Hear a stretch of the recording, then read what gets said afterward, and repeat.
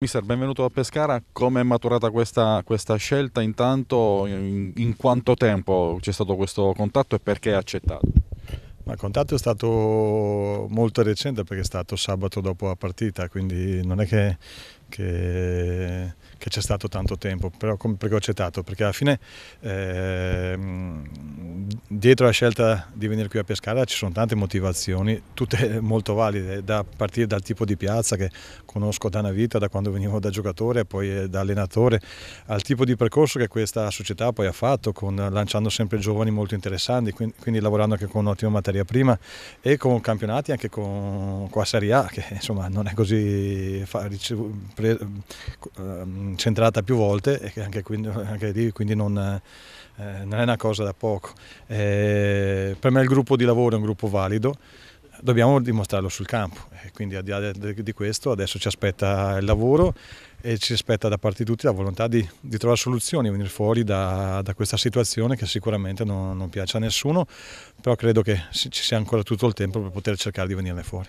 Immagino abbia visto più volte il Pescara, che idea si è fatto dall'esterno?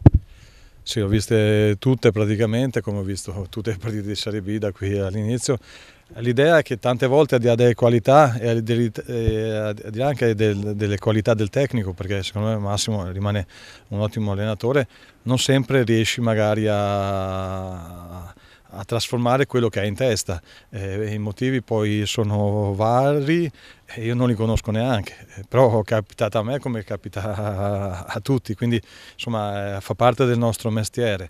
Eh, però è anche vero che tante volte questo non sono mai eh, situazioni consolidate, eh, si, si, lavora per cambiarle e soprattutto con l'idea di, di, non voler alibi ma cercare sempre appunto, alternative per creare qualcosa che, che, che risolva.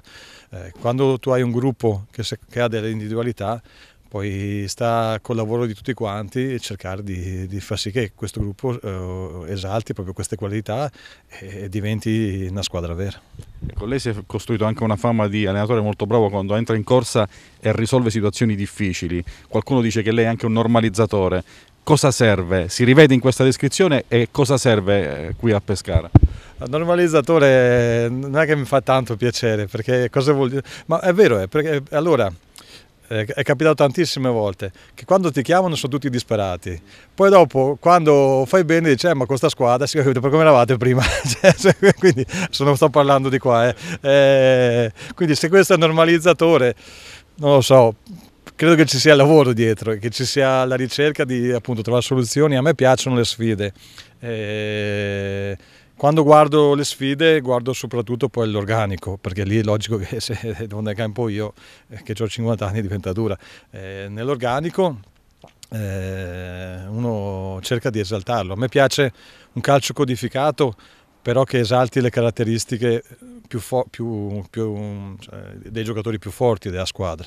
E uno parte con idee in testa e si spera di che sia subito quella giusta, poi se no trovi soluzioni e cambi.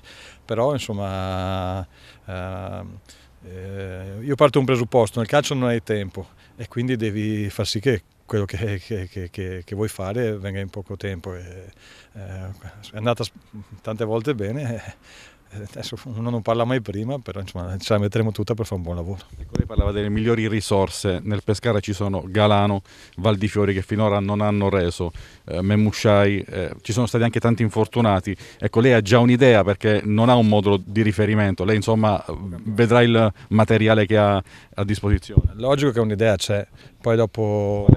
Eh, adesso, adesso, là mi spiace, ma a parte che magari ce l'ho adesso, li vedo oggi e dico che aspetta un attimo, quindi anche là. E poi avere un minimo di vantaggio quando incontri una squadra che, che, che magari non dico un effetto sorpresa, anche perché poi loro è la stessa cosa, non sappiamo come, come giocano, non sappiamo che, che idee hanno.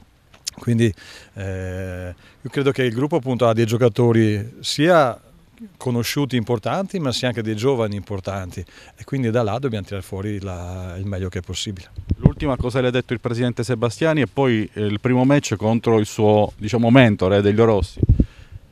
Beh, con il presidente abbiamo parlato di campo e di calcio, eh, che è la cosa più bella e non è appunto scontata mai. Eh, nel parlare di campo di calcio Eh, appunto, noi tanti, lui giustamente ha fatto una frase, quando parlo con voi allenatori usate sempre gli stessi termini, intensità, lavoro, impegno.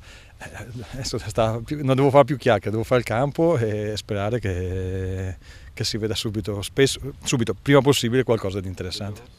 Ed Elio per me è stato fondamentale perché sia da giocatore sia anche nella scelta poi di diventare allenatore lui ha un, un ruolo predominante. Eh, gli devo molto, però la gioco che poi la posta in palio, considerando che poi anche un derby è, è, è alta e ognuno di noi fa quello che deve fare per fare il risultato. Salve, buongiorno. Buongiorno. Eh, Grazie. La domanda in due. Prima si è sentito Ozzo. No.